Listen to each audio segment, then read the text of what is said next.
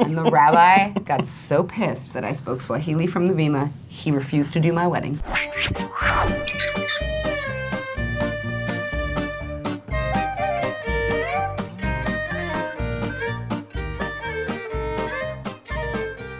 Our bar mitzvah is basically like a wedding, except not. Rite of passage into Jewish adulthood, and by Jewish adulthood, I mean absorbing as much humiliation as you can possibly absorb in like a three to four hour period. A bar mitzvah is like the best party ever, but it's wasted on 13 year olds. You read from the Torah, you give a speech, then there's a big party.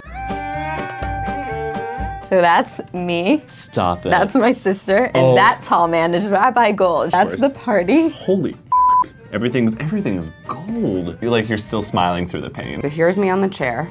See, I never got lifted on the chair. They even buy the, they lifted my parents on the chair. This is my two younger brothers on the Wait, chair. wait, wait, at your bar mitzvah? At my bar mitzvah, but they did not raise me. You just look like a classic Jewish kid. except two feet smaller and very confused. My grandmother had passed away like a few months before my bar mitzvah, and my best friend's grandmother, who I'd known my whole life, she was there, and she was like, "I'm, you know, I'm here in her honor. I'm your surrogate bubby." She was 75 at the time. She made out with my DJ on the dance floor. You look like Ron Weasley. So here's me in this chicken hat that I wore like all night, and my dad like kept begging me to take it off, but it's in like all the pictures. So here is me and my dad and my mom, my two brothers. Mm-hmm. You are looking super 13 right there. This is me.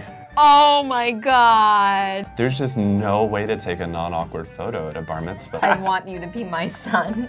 This is like a pre-exposed titty shot. Up on that chair, man. Janet Jackson has nothing on my mom. Both, both ladies. Oh my god. Okay. Every boy in my seventh grade class. Sorry, mom. You have a nice rack. It's fine. And afterwards, I asked my mom if I could just take my best friend on a cruise.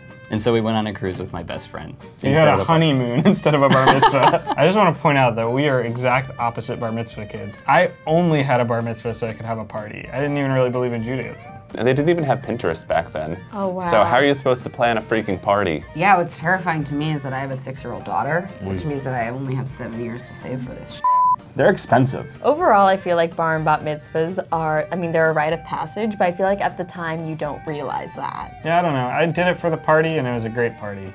And I'd do it again for the party.